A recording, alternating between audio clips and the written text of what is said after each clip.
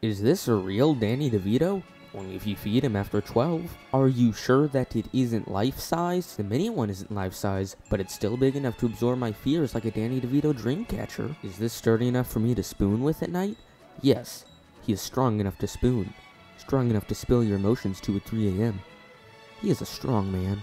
Are the clothes removable? No. Will this mini Danny DeVito cut out completely as a person? Yes, no doubt about it. Can you play Nightcrawlers with this cutout?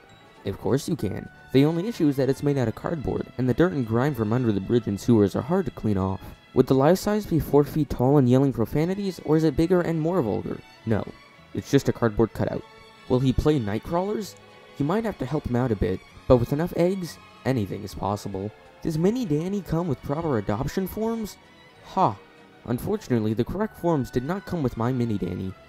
Perhaps that's a prime upgrade? Can I cut a hole in it and make loving relations with it? Only if the hole is reinforced with duct tape. 410 likes and I buy Danny DeVito life-size cutout. 4 foot 10 is how tall.